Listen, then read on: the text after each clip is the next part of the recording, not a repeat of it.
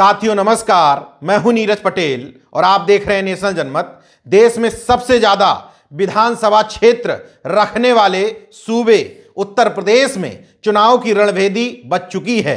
आचार संहिता election commission द्वारा लागू हो चुकी है। ऐसे समय में स्वाभाविक तौर पर सत्ता पक्ष द्वारा एक बार फिर से पिछड़े और दलित वर्ग के मुखौटों को सामने रख करके उनके वर्गों को उन्हीं मुखौटों के द्वारा बरगलाने की कोशिश की जाएगी। कोशिश पहले भी होती रही है। बीजेपी में शामिल पिछड़े और दलित वर्ग के लोगों को न सिर्फ़ विपक्षी दल, बल्कि तमाम सामाजिक संगठनों के लोग भी महज मुखौटा कहते रहे हैं। पोस्टमार्टम के इस पाँचवें एपिसोड में हम इस बात की चीड़फाड़ करने की कोशिश करेंगे, वास्तव में भारतीय जनता पार्टी में पिछड़े और दलित वर्ग के जो बड़े नाम हैं, वो किसी काम के हैं या महज मुखौटा बनकर के रह गए हैं। किंग जॉर्ज मेडिकल यूनिवर्सिटी मतलब उत्तर प्रदेश की पहली और सबसे बड़े, बड़ा विश्वविद्यालय। न सिर्फ़ मरीजों और विभाग के हिसाब से, बल्कि शिक्षक और कर्मचारियों के हिसाब से भी उत्तर प्रदेश की सबसे बड़ी मेडिकल यूनिवर्सिटी है। तकरीबन 500 असिस्टेंट प्रोफेसर, एसोसिएट प्रोफेसर और प्रोफेसर यहाँ काम करते हैं।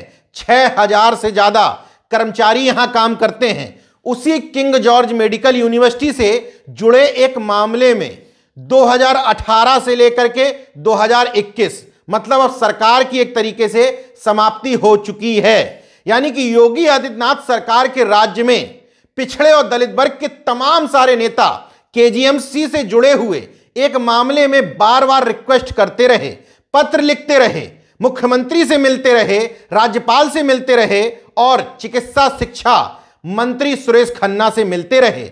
बार बार आश्वासन भी मिलता रहा। लेकिन चार साल बाद इन लोगों की हैसियत बताते हुए सुरेश खन्ना जी ने कह दिया, ये काम हम नहीं कर पाएँगे। और ये काम किसी प्रोफेसर का निजी काम नहीं था, बल्कि केजीएमयू के अंदर ओबीसी एससी वर्ग के रिप्रेजेंटेशन से जुड़ा हुआ मामला था। मामला आपको बताऊँगा, लेकिन पहले समझ लीजिए कि किन लोगों के पत्रों के बाद भी सुरेश खन्ना ने साफ़ मना कर दिया कि हम आपकी बात नहीं सुनेंगे। केशव प्रसाद मौर्य, डिप्टी सीएम और भारतीय जनता पार्टी में निर्विवाद रूप से ओबीसी का सबसे बड़ा चेहरा। पिछले चुनाव में भी भारतीय जनता पार्टी ने केशव प्रसाद मौर्य का चेहरा आगे करके, क्योंकि वही उस समय प्रदेश अध्यक्ष हुआ करते थे। उनको आगे करके पिछड़े वर्ग को यह बताने की कोशिश की कि देखिए, अन्य सरकारों में तो केवल एक जाति का मुख्यमंत्री बनता है, हमारे यहाँ मुख्यमंत्री बनने की संभावना है। लेकिन, दबी जुबानी सही लोग ये बात कहते हैं कि अगर केशव प्रसाद मौर्य चुनाव के बाद में अस्पताल में एडमिट ना हुए होते तो उनको डिप्टी सीएम भी ना बनाया गया होता। खैर, डिप्टी सीएम बन गए डिप्टी सीएम बनने के बाद सरकार में उनकी हैसियत कितनी है यह वीडियो आपको साफ़ साफ़ बता देगा।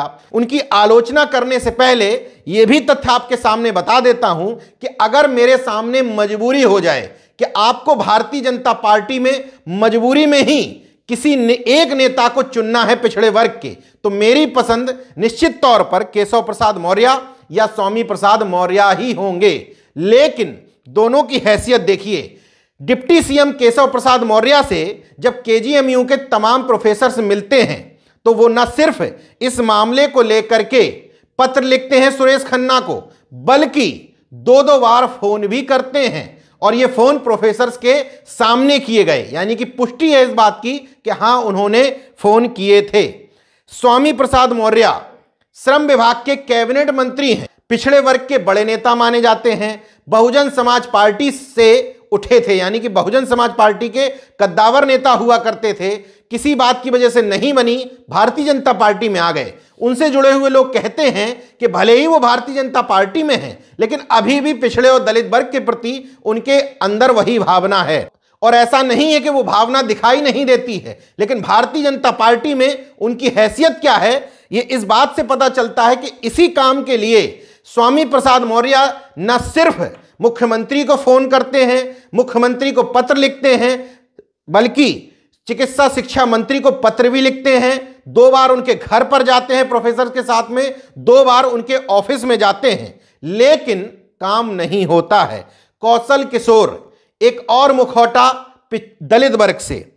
केंद्रीय आवासन और शहरी कार्य राज्य मंत्री इनको बनाया गया है। बेहद मिलनसार माने जाते हैं। कहा जाता है कि जो भी इनके घर अपनी समस्या लेकर के पहुँचता है, सहज भाव से उनके लिए पत्र लिख देते हैं। लेकिन इस मामले में एक आध बार पत्र नहीं लिखे।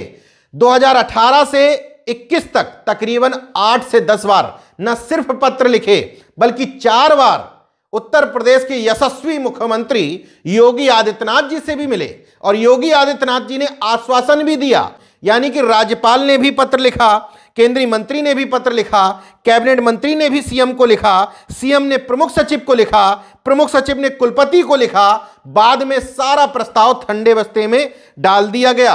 इतने लोगों के अलावा विधायक मलिहाबाद, जय देवी, एससी वर्ग से आती हैं, विधायक सिकंदरपुर बलिया, संजय यादव पिछड़े वर्ग से आते हैं, दोनों बीजेपी के हैं, लेकिन अंतोगत्वा काम नहीं हो पाया।